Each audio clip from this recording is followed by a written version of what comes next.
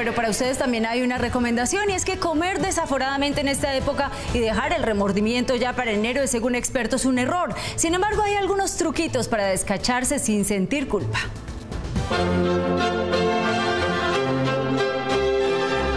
Fin de año los múltiples pecadillos se notan sustancialmente en los brazos, en las piernas, en el estomaguito y en algunos cacheticos. Yo lo tengo clarísimo que son más o menos entre 3 y 5 kilos. Subirlos es fácil, pero perderlos... Por lo menos haciéndolo saludablemente 6 meses. Esa ropa estrecha por los kilos de más dan la pauta a las buenas intenciones para el 2019. Uno de los propósitos más seguros para empezar el año es este año sí me voy a poner a dieta. Pero ojo, desquitarse por el remordimiento no es tan sano.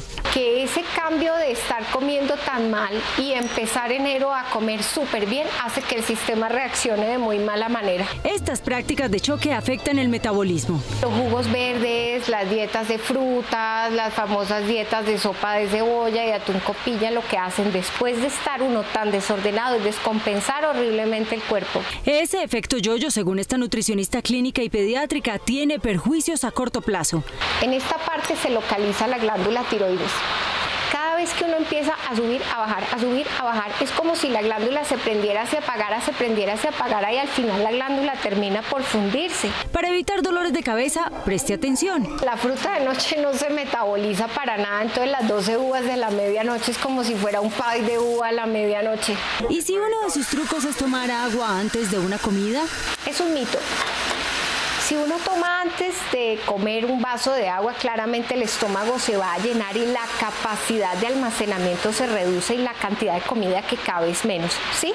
Pero el agua sale tan rápido del estómago que inmediatamente el vacío se va a sentir en el estómago y el efecto es hambre. Aquí va un truquito. Cuando uno se ha desordenado un día, una buena forma de compensar es desayunar y almorzar fruta al otro día y aquí no ha pasado nada.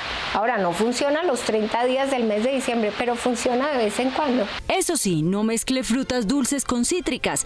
Y si cree que comer poco durante el día para desordenarse en la noche es algo práctico, aquí está la respuesta. El truco es al revés, el truco es coma normal ese día y la compensación es al día siguiente haciendo lo de la fruta. Ese es un truco fantástico. Pero si la fruta no es su mejor amiga, un consejo adicional.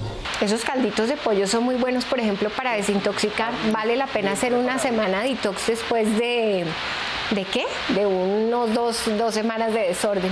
La advertencia principal es que el licor no se compensa con nada. Tiene suficientes calorías para aumentar desproporcionadamente en esta época de fin de año. Así que peque poquito, pero no se descuide.